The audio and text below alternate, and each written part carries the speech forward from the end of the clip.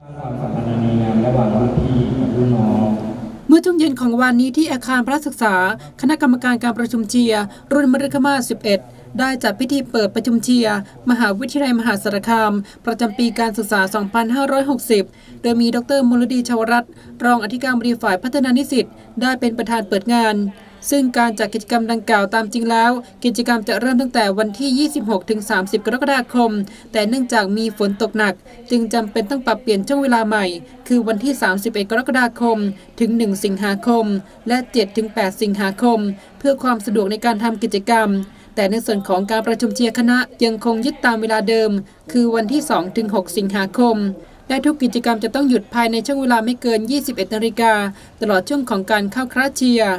ส่วนแนวการปฏิบัติยังคงเน้นตามระเบียบของสกอ โดยเป็นกิจกรรมสร้างสรรค์ ให้อิสระความเท่าเทียมกัน และไม่บังคับขู่เข็น หรือก้าวไก่สิทธิส่วนตัว ก็นโยบายของเรานะคะ ก็ปฏิบัติมีแนวปฏิบัติ เช่นเดียวกับสปอนะคะที่เป็นการรับน้องประชุมเชียร์อย่างสร้างสรรค์นะคะ แล้วก็เป็นการที่ให้อิสระมีความเท่าเทียมกันนะคะ ที่เด็กจะเลือกเข้าหรือไม่เข้าในกิจกรรมก็ได้นะคะ แล้วในส่วนนี้ก็คือจะไม่มีการที่จะบังคับขู่เข็นหรือว่าสิทธิต่างๆของเด็กนะคะตรงนี้มีความชัดเจนที่นิสิตรุ่นใหม่เขาก็มีความเข้าใจนะคะ